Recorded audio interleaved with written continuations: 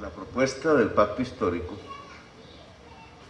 que debo reconocer eh, se agitó incluso en el año 2018, tiene una raíz dentro de la historia política de Colombia alrededor del tema del diálogo nacional.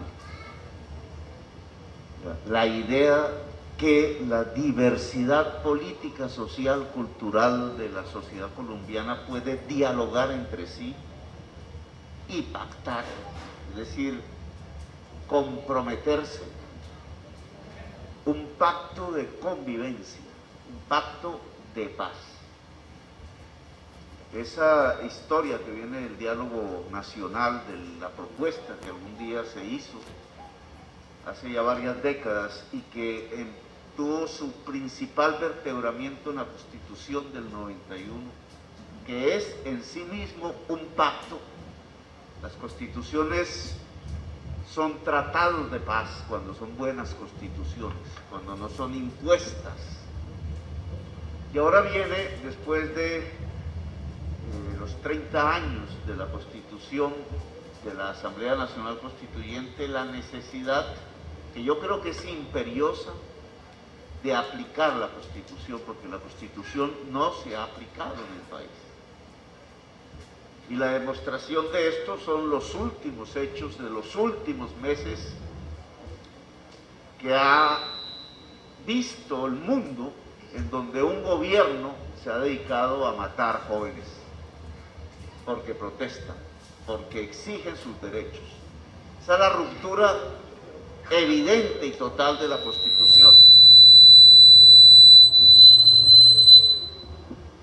Por tanto, la realización, la construcción en la realidad colombiana de los derechos de la Constitución del 91 debe ser materia de un pacto, un pacto entre la diversidad, un pacto de la totalidad de la sociedad colombiana. Y entonces si concebimos eso así, como la forma de gobernanza de los próximos cuatro años, completamente diferente a la gobernanza de la exclusión, que es la marca del actual gobierno y del proyecto político que ha gobernado Colombia durante todo el siglo XXI. Una gobernanza vista como un pacto de la diversidad nacional. Entonces, cabe varias eh, preguntas. Una, lo que estamos haciendo ahora es apenas un escalón de un gran propósito nacional. Estamos construyendo una alternativa política que será de una parte de la sociedad para dar otro paso en el escalón que es el acuerdo nacional por la paz y por la democracia que involucre desde un gobierno y alrededor de una sociedad a todo el conjunto de la sociedad colombiana. En esto aplaudo la aparición recogiendo un acumulado histórico de una propuesta política como la de Francia y que debe en primer lugar generar un movimiento afro en Colombia, las bases de lo que yo denominé en el 2018 el poder negro si Francia nos gana en la consulta, pues nosotros colaboraremos de mucho gusto con la presidenta Francia Márquez.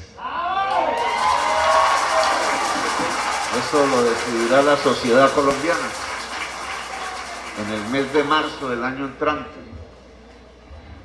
Y si no es así, de todas maneras, el espacio que en estos meses hay que construir de lo que voy a llamar el poder negro debe garantizar que gane quien gane la consulta, siendo presidente de Colombia o presidenta de Colombia, arranca una nueva historia que no se había visto en los últimos cinco siglos en esta sociedad que es la historia de la indemnización colectiva e histórica a los descendientes de la población afro localizados en el territorio colombiano, que son víctimas de un sistema social que incluso fue global, por medio del cual seres humanos fueron esclavizados y su esclavitud fue vivida en el territorio de Colombia.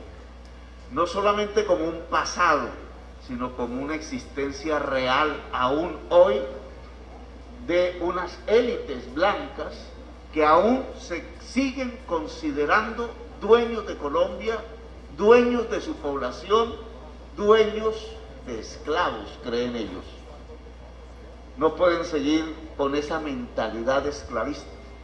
Los pueblos libres de Colombia creo que ya han tomado la decisión mayoritaria de cambiar la historia del país. Gracias. Eh, continuamos eh, con Erika eh, Coronado, periodista de Contagio Radio. buenos días para todos y todas. mi pregunta es cómo el pacto histórico va a asumir los retos que hay actualmente en Colombia, hablando del cumplimiento total del acuerdo de paz y ante esa indignación ciudadana y la desconfianza que hay en las instituciones por parte de los jóvenes y de la población en general.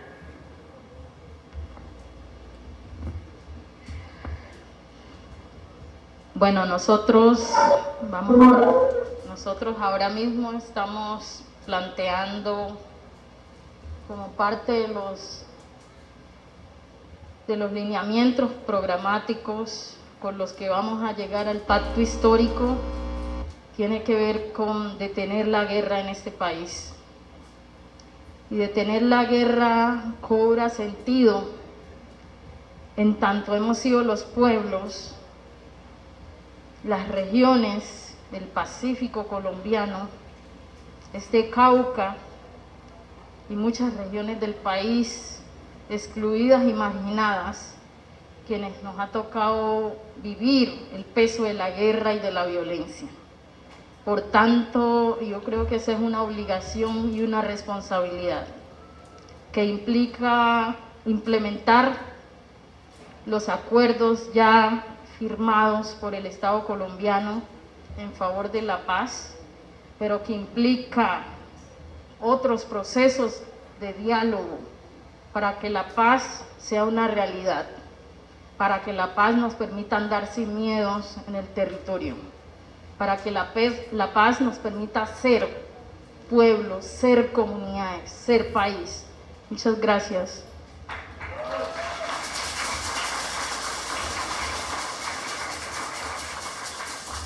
Diego Luis Carabalí de Quilichao Televisión. Muchas gracias, buenos días para todos. Francia, gracias amiga por estar acá en tu tierra, en tu Cauca, haciendo el lanzamiento de tu candidatura. Dios quiera que en el pacto histórico pues tú seas la ganadora de la consulta.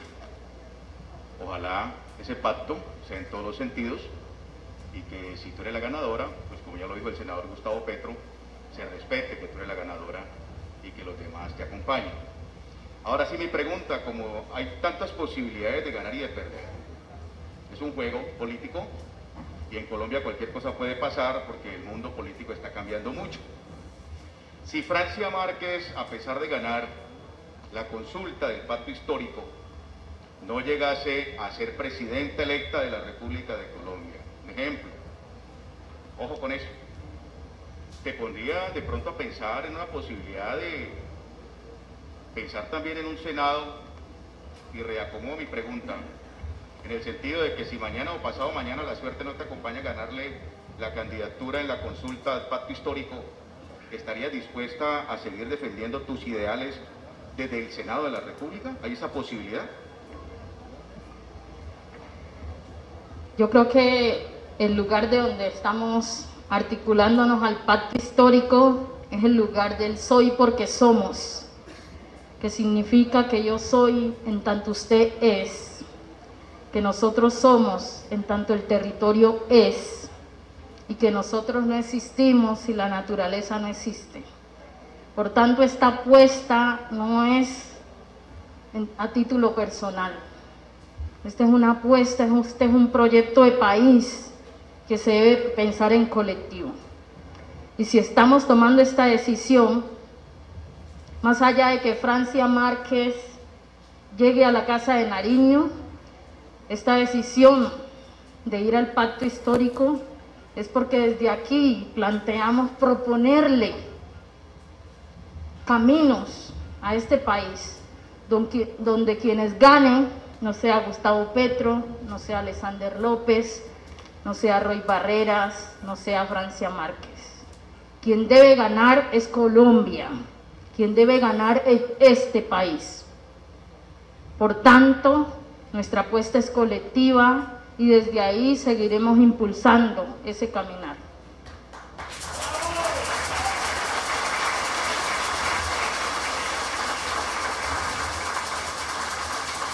Continúa Mónica Miranda eh, del semanario Voz. Hola, buenos días. Eh, es una pregunta para Francia.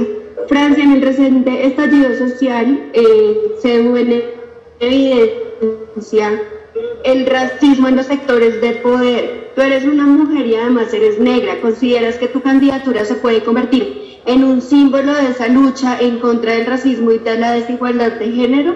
Gracias. Bueno, yo creo que el racismo ha existido siempre y la lucha no empieza frente al racismo con esta candidatura. Nosotros hemos luchado históricamente como pueblos por impedir que nos sigan expropiando nuestra condición humana, por tanto, esta candidatura significa no el fin, sino un medio para seguir pariendo la dignidad, para seguir pariendo la justicia, para seguir generando condiciones de igualdad, no solamente para la población afrodescendiente, sino para el país. Pero sin dudas que también queremos que nuestro pueblo, vuelva a creer, que nos arranquemos de la mente esa carimba de creer que no somos capaces, que no podemos y que no conocemos. Nosotros tenemos el poder. El poder está en el pueblo. Y como ya lo dijo Gustavo, pues es el momento de que esta Colombia se piense también con el poder negro. Muchas gracias.